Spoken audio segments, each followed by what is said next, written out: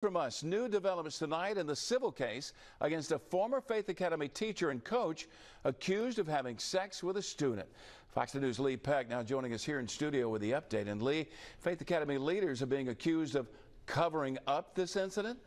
Well, yeah, Byron, the civil case filed last week names both the private school and former teacher and coach Jonathan Sauers and says the school failed to report the alleged inappropriate behavior to the proper authorities when first made aware of it more than a month before Sauers' arrest.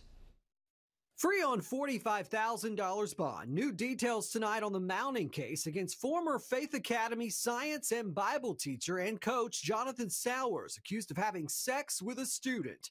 A civil case says the student was 16 years old when Sauers allegedly groomed, victimized, and inappropriately touched and assaulted her, oftentimes on campus, starting in September of last year.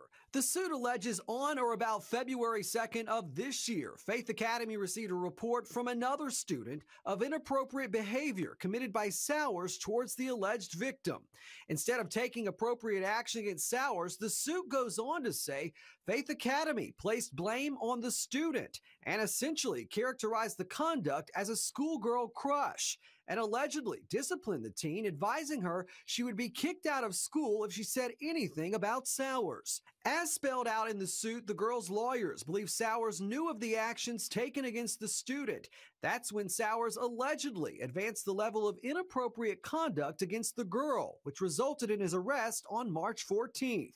They're seeking damages for emotional and physical injuries, demanding a trial by jury.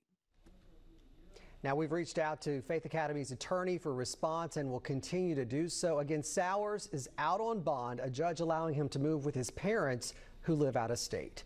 Live in studio tonight, Lee Peck, Fox 10 News.